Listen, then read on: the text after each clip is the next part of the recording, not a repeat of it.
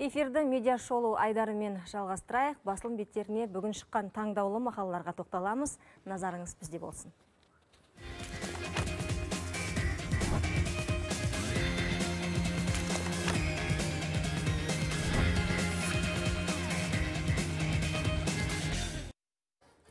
Шымкенттегі диагностикалық орталық адам ағзасындағы барлық ауруды анықтап беретін ең озық заманауи медициналық мекеме саналады. Жақында орталыққа Алматыдағы Сызғанов атындағы ұлттық ғылыми хирургия орталығының білікті мамандары келіп, шеберлік сабағын өткізді. Дәрігерлер бес бірдей науқастың асқазан және тоқ ішек жолдарына операция жасады.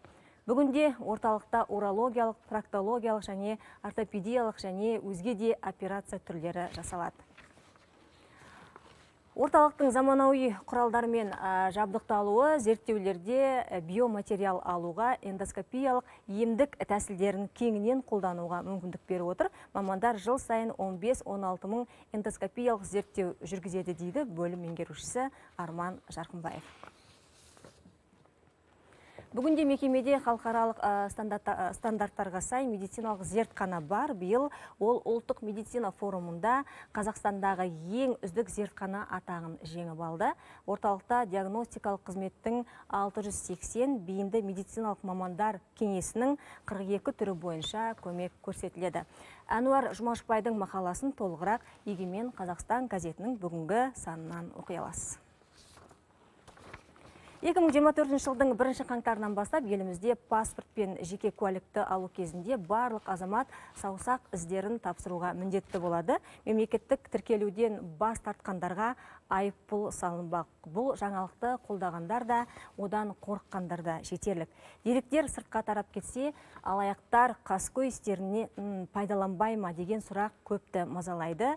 Журналист Елдос Сенбай айқын газетіне арнайы мақала жариялады.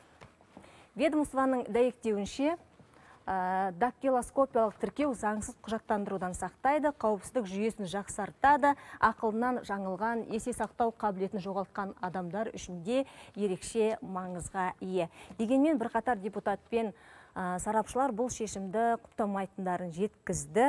Аталған жүйе әліде ақпараттық қауіпсіздік талаптары бойынша тексеріліп жатыр. Мақаланың толық нұсқасын Айқын газетінің 106 нөмірінен оқи аласыз жалғастырайық. Жат ағымдар дінімізді шайқалтады. Мәжіліс депутаты ермұрат бапи астана ақшама газетіне осы тақырыпта мақала жариялады. Ол соңғы жылдары ислам дінін жамылған жат ағымдардың қоғам шырқын бұзып мемлекеттік тұтастыққа ауыз сала бастағанына алаңдаулы. Бұл халқымыздың бірлігі мен ұлттық даму дәстүріне және мың жылдық қазақи ислам салтына қарсы келеді дейді автор.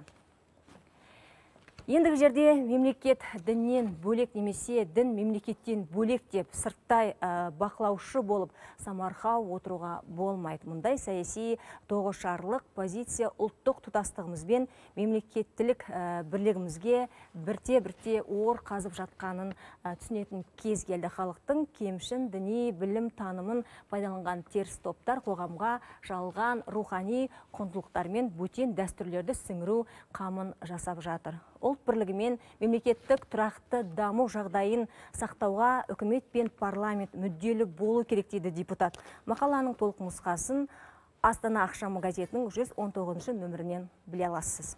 Газет журналдар мен интернет порталдарды оқи жүріңіздер қадірлі көрермен.